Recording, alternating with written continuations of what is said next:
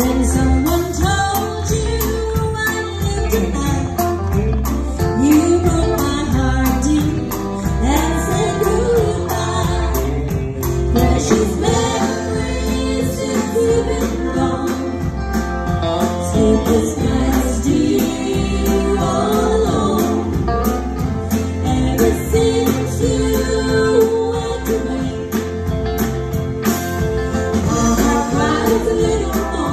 You.